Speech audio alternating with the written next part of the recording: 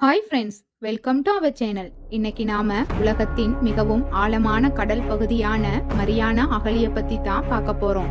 Video பிடிச்சிருந்தா like பண்ணுங்க share பண்ணுங்க மறக்காம சப்ஸ்கிரைப் பண்ணுங்க.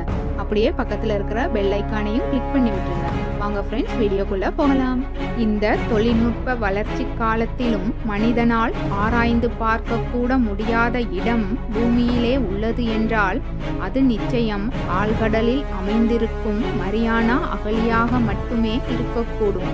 ஹவாய் மற்றும் பிலிப்பைன்ஸுக்கு இடையே குவாம் என்ற சிறிய தீவுக்கு அருகில் நீரின் மேற்பரப்புக்கு மிக கீழே மரியானா அகழி அமைந்திருக்கின்றது. மரியானா அகழிதான் பூமியில் அமைந்துள்ள கடலின் மிகவும் ஆழமான பகுதி. இதுவரை மனிதனால் கண்டுபிடிக்கவே முடியாத பல மர்மங்கள் இந்த ஆழ்கடல் அகழியில்தான் ஒளிந்துள்ளது. உலகின் மிக ஆழமான மரியானா அகழியின் கீழே என்ன இருக்கின்றது? இதுவரை என்ன கண்டுபிடித்துள்ளனர் என்று பார்க்கலாம். இந்த ஒரு அகழியானது பதினேழு கோடி வருடத்திற்கு முன்பே தோன்றியது என ஆய்வுகளில் கூறப்படுகின்றது. இந்த அகழிக்கு அடியில் இரண்டு தட்டுக்கள் உள்ளது. இதில் ஒரு தட்டின் பெயர் பசிபிக் தட்டு மற்றொன்று மரியானா தட்டு என்றும் அழைக்கப்படுகின்றது. இந்த இரண்டு தட்டுக்களுமே பாதாளம் போல உள்ளது என்றே சொல்லலாம். அந்த அளவிற்கு ஆழமானது. அதாவது குறிப்பாக பத்து கிலோமீட்டர் அளவிற்கு மிகவும் ஆழமானது. இந்த ஒரு அகழி பார்ப்பதற்கு பிறை போன்ற வடிவத்தை பெற்றிருக்கும். பசிபிக் தட்டும் மரியானா தட்டும் ஒன்றுடன் ஒன்று மோதிக்கொண்டதன் காரணமாக இந்த மரியானா அகழி உருவாகி இருக்கலாம் என்று ஆய்வுகள் கூறுகின்றன. பல மில்லியன் ஆண்டுகளுக்கு முன் இந்த இரண்டு தட்டுகளும் இவ்வாறு மோதிக்கொண்டதால் இந்த ஆழமான மரியானா அகழி தோன்றியது. இந்த மரியானா அகழி முதன் முதலில் ஆயிரம் கிலோமீட்டராகவும் பிறகு மீண்டும் அளவு எடுத்த பொழுது பதினோராயிரம் கிலோமீட்டர் ஆழத்தை கொண்டதாகவும் இருந்தது.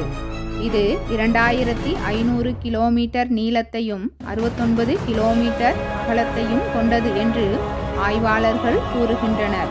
அது மட்டுமின்றி இந்த அகலியானது கிட்டத்தட்ட நூற்றி எண்பது மில்லியன் ஆண்டுகள் பழமையானது என்றும் கூறப்படுகின்றது. இந்த அகழியில் நாலு டிகிரி செல்சியஸ் வரை வெப்பநிலை இருக்கும். எண்பது டன் வரை அதிகப்படியான அழுத்தம் இருக்கும் என தற்போதைய ஆய்வுகள் தெரிவிக்கின்றன. உலகிலேயே மிகப்பெரிய சிகரம் எவரெஸ்ட். இந்த எவரெஸ்டையே மரியானா அகழியில் போட்டாலும் எவரெஸ்ட் முழுவதும் மூழ்கி மீதம் இரண்டு கிலோமீட்டர் வரை நீர் இருக்கும். அவ்வளவு ஆழம் கொண்டது மரியானா அகழி இங்கிலாந்தை சேர்ந்த சேலஞ்சர் என்ற கப்பல் முதன் முதலில் இதன் ஆழத்தை கணக்கிட்டது. ஆயிரத்தி தொள்ளாயிரத்தி அறுபதாம் ஆண்டு முதலில் பதினோராயிரம் கிலோமீட்டர் இருக்கலாம் என ஒளியான் மூலம் தோராயமாக கணக்கிட்டனர். இந்த மரியானா அகழிக்குள் இதுவரை மூன்று பேர் மட்டுமே உள்ளே சென்று வெளியே வந்துள்ளனர். அப்படி சென்றவர்களில் ஒருவர்தான் உலக புகழ்பெற்ற இயக்குனர் ஜேம்ஸ் கேமரூன். இவருடன் கப்பல் படையை சேர்ந்த ஜான் ஓல்டன் மற்றும் ஜக்லஸ் பிகாட் ஆகியோரும் உடன் சென்றனர். இந்த இருவரும் உலகில் அதிக ஆழத்தில் சென்று வந்தவர் என்ற பட்டத்தை பெற்றுக்கொண்டனர் இவர்களால் அந்த ஆழத்தில் இருபது நிமிடம் மட்டுமே இருக்க முடிந்தது. அந்த குறைந்த நேரத்திலும் அந்த மரியானா அகழியில் காணப்பட்ட விசித்திரமான விலங்குகள் பற்றிய தகவல்களை அவர்கள் குறிப்பிட்டனர்.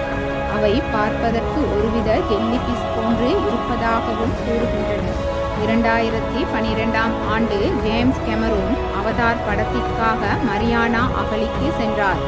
ஆனால் அப்போது அவரால் எதையும் அதிக அளவில் பார்க்க முடியவில்லை என்று கூறினார். இந்த மரியானா அகழிக்குள் ஆயிரத்தி தொள்ளாயிரத்தி அறுபத்தி எட்டாம் ஆண்டு ஜக்லஸ் பீகாட் அவர்களின் தந்தை நீர்மூழ்கி கப்பல் மூலம் கடும் முயற்சிக்கு பின் தனது எட்டாவது முயற்சியில் அதன் ஆழத்தை கண்டறிந்தார். இந்த மரியானா அகழியானது அதிக இருள் அதிக அழுத்தம் கொண்ட பகுதியாக இன்று வரை இருந்துள்ளது. இந்த அகழியில் நிறைய நீலத்திமிங்கலம் இருப்பதையும் அவர்கள் கண்டறிந்தனர். இந்த அகழியில் உள்ள உயிரினங்கள் உலகில் வேறு எங்கும் இல்லை என கூறுகின்றனர். அந்த அகழியில் அழுத்தம் அதிகம் இருப்பினும் உயிரினங்கள் வாழ்வது என்பது அதிசயமான ஒன்றாகவே உள்ளது. இந்த பகுதியில் மட்டும் உறையும் அளவிற்கு வெப்பம் குறைவாக இருக்கும். பல்வேறு உயிரினங்கள் அந்த ஆழமான பகுதியில் காணப்பட்டாலும் இன்று வரை அது பற்றிய முழுமையான தகவல்கள் கிடைக்கப் பெறாமலேயே உள்ளது. இது பற்றிய ஆய்வுகள் இன்றளவும் குறைவாகவே நடைபெறுவதால் தற்போது வரை இந்த அகழி புரியாத புதிராகவே உள்ளது.